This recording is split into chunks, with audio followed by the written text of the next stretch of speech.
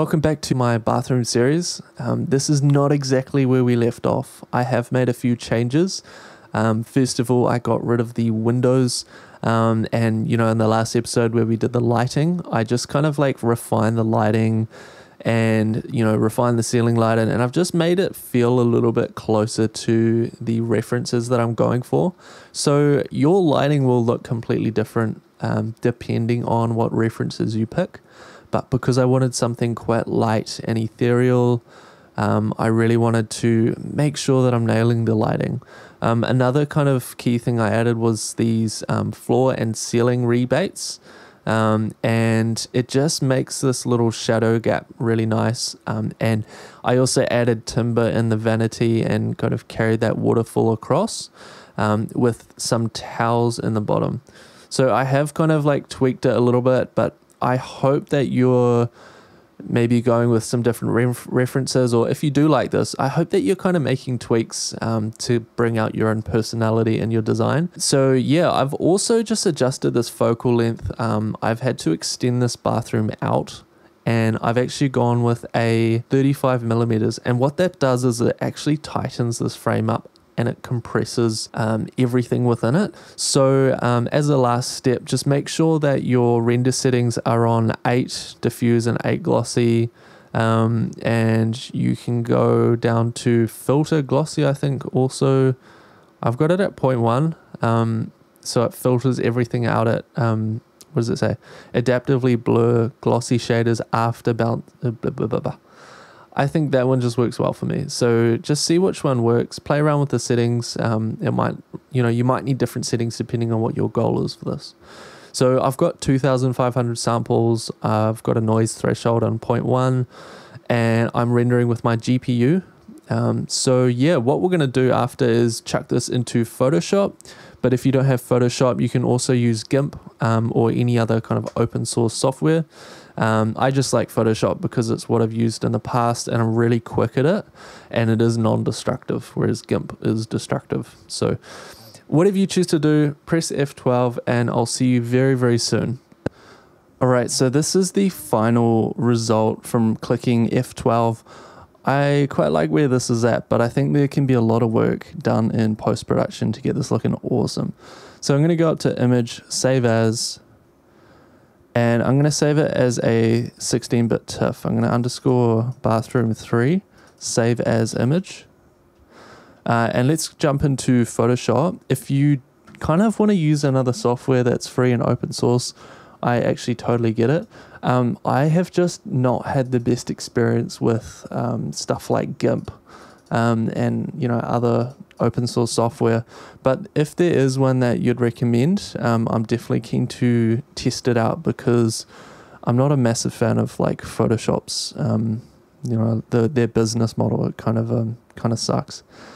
So I'm to go right click, convert to smart object, and I'm to go up to filter, camera raw filter. So I'm going to just uh, start with the exposure, but honestly, I think it's looking pretty good so far. Um, let's play around with the contrast. What I'm going to do actually is enable uh, the color filter, um, color filters, and basically you can allow a grayscale filter to come on when you go Control Windows C. Um, and I normally start my editing out with this. So if you're following along with GIMP or any other software, the interface is going to look pretty different, but the overall concept is going to be the same.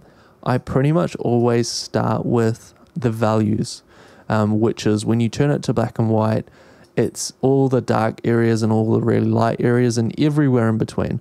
And we want to get this histogram at the top to pretty look pretty like in the middle. You don't want it to be super high or super low. So you want it to be quite balanced. Um, and kind of another good um, thing to do is also bring your references across and just see how this stacks up next to them. Um, so I think in general they're all kind of sitting in the same area. Um, so I think the values are actually looking pretty good. Um, but a key part of this will actually be looking at the colors. Um, so if I just play around with these blacks a little bit and the shadows, just like tweak it a little bit, I think that's pretty good. But it's like really, really orange um, compared to the references.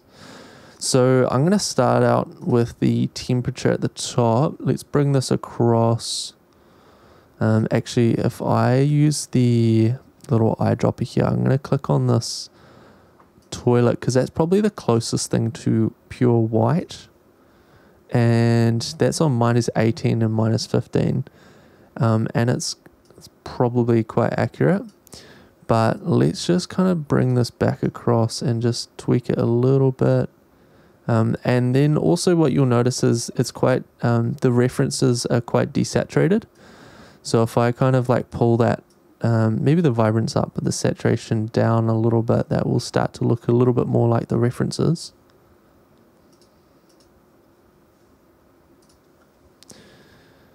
Alright, so let's actually bring these whites a little bit down. I'm really just kind of going back and forth um, as I do this. Um, because you, every single step you make actually impacts everything. So it can be quite challenging to do something completely um, linear. You know, it's like not really the right way to do it. You're always going to be going back and forth. So with this curve, I'm just going to create a subtle contrast S curve. I might even lift the, lift the blacks up a little bit. Um, and I think the color mix is a really big aspect of my workflow. Um, so I'm going to start with the hue, and you can shift things left or right. The best way to learn is just by doing it. Um, and I can tell that there's not many reds, but the oranges are pretty strong in this. So if I look at my references, I really want them to like the the colors here kind of feel a little bit similar, um, but I think uh, it's looking a little bit grungy. Um, but it's getting there. I think it's getting there. I think maybe there's a little bit of green that needs to be taken out of this. So let's bring this tint across a little bit. It's easy to go overboard with this. Um, let's also see what the green hues are doing. Not really much. Nothing here. Um, what I find with interior shots is that the purples and the magentas actually play quite a big role um, and you probably don't want them to play a big role. So in the saturation across, I normally like bring those down quite a lot first. But honestly, there's like not much impact. I think the orange is definitely like the biggest impact here. Um, and the yellow a little bit. Green, not much. So this really is quite a um, quite a monotone color palette. Um, and then also, geez, it's a little bit light, but actually I think this can be cooled off a little bit more. So let's um, let's bring this eyedropper over. Actually, I'm gonna go on that white um, bottle there. So you can see that's like quite cool. What happens if I bring up this saturation? Um, maybe the contrast.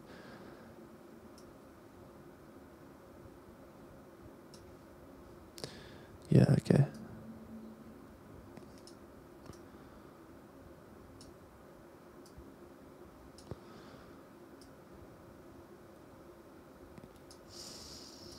I kind of want it to stay in this tonal range because actually this is a lot more accurate um, and it kind of suits the references a lot more. Um, but what I could do if it feels a little bit too bright is actually bring this exposure down a little bit and then maybe bring the shadows up you know, a little bit too.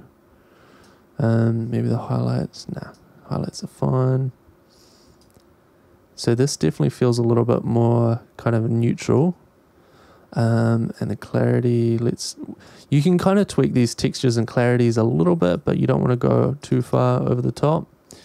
Um, and then let's just go back to the color mixer because we're not completely done.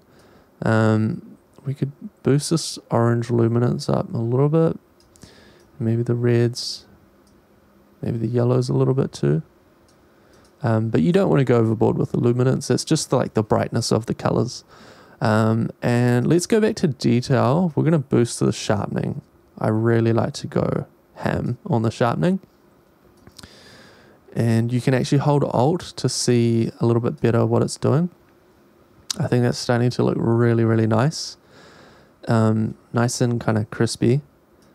Um, and then as an effect, we're going to add a little bit of grain just to kind of make it seem a little bit more textural and it actually gives it kind of a film feeling to it. And let's also increase this um, vignetting across to the left ever so slightly.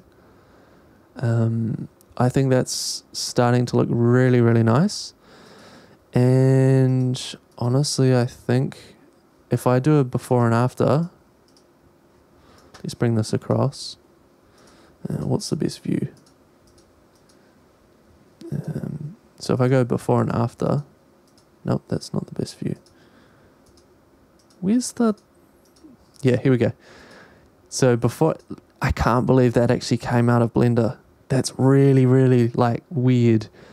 But now we're really like bringing some nice kind of classy tones into this um, this render, and we can kind of play around with this warmth. I think I might adjust the hue of this yellow to be a little bit more on the reedy side. And then let's see what the oranges are doing. Now that we have the white balance kind of properly set, um, it's a lot easier to work with the colors. But I think um, be- because the white balance wasn't properly set before, uh, the colors were looking a little bit off. Um, let's just adjust this tint ever so slightly. Get rid of a little bit of that green and maybe we can just adjust the saturation a little bit too. So I think honestly, I think I'm really happy about where this is. If I go OK, and then just as a little bit on the top, I'm going to duplicate this with Control J. I'm just going to get rid of the camera raw filter. I'm going to go and filter, other, high pass, and we're going to just change this to like 1.2, maybe 1.3.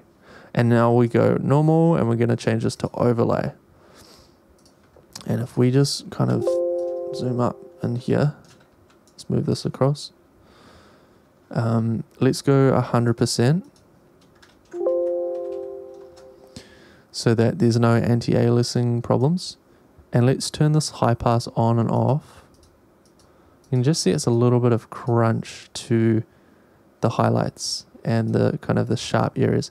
We could also change this to linear light if you want more oomph and then lower that opacity right down. So honestly, I'm really, really stoked about how this kind of um, this turned out. Uh, and I really look forward to seeing your designs and your renders. Um, so be sure to jump on the Discord. There's a link in the description. You can share your version of this bathroom, and I really, really look forward to seeing what everyone gets up to. Um, and um, yeah, I can't wait to see it. So stay tuned for the next series I do, and I've got some cool videos coming out soon. Um, jump on the Discord, and I'll see you in my next video. Cheers.